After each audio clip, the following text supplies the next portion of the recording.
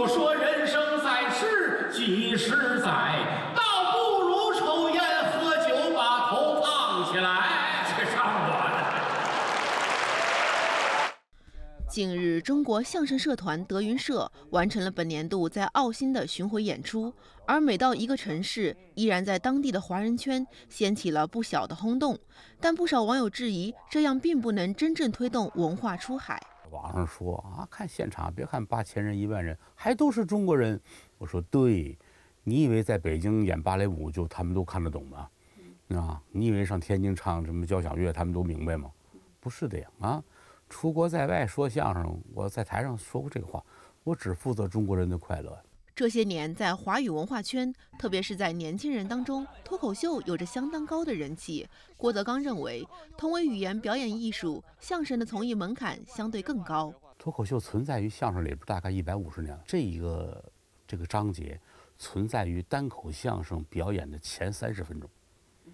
比如说，今天我要讲一个长篇单口相声，我讲一个三国的故事，讲一个水浒的故事，呃，专业的演员不会上台了就直接给你讲。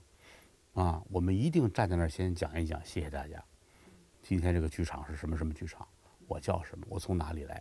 我的家怎样怎样？脱口秀特点就是人人都能说，啊，相声特点是人人都说不了，啊，但是你说多一个新兴的行业，大伙儿多一个挣钱的买卖，有什么不好的？郭德纲表示，在如今这个流量经济时代，传统的相声不仅要紧跟步伐，更要开辟新风尚。这种短视频碎片式东西输出的时候，如果演员你没有往上跟的话，那你就不具备在这个行业里面立足。在我们这个行业里，其实内部讲究就是你追上观众都不行，你得上观众前面去等着他去。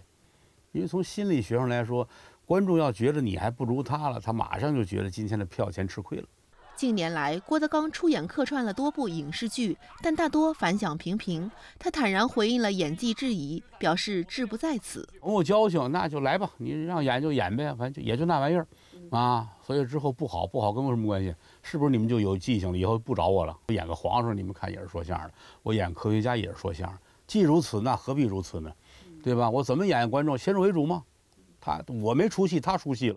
而德云社的另一位年轻艺人郭麒麟却在演戏方面收获好评，尤其是近日播出的电视剧《边水往事》引发了极高的讨论度。郭德纲盛赞儿子在表演方面有天赋。一个好演员呢，有没有天赋，你根本就演不了戏。演戏卖的就是天赋，啊，咱们也看着专业院团、专业院校每年培养那么多演戏的演员，为什么他有一大批人最后改行了呢？为什么那么多演员最后没有成功呢？他可能还是从开始的时候天赋有问题。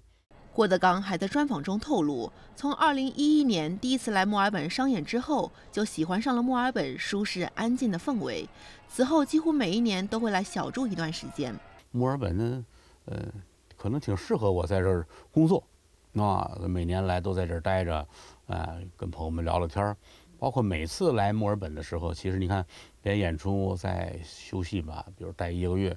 我都是在这一个月内把回去的半年的工作梳理一下。SBS 中文新闻陈海燕、刘梦颖采访报道。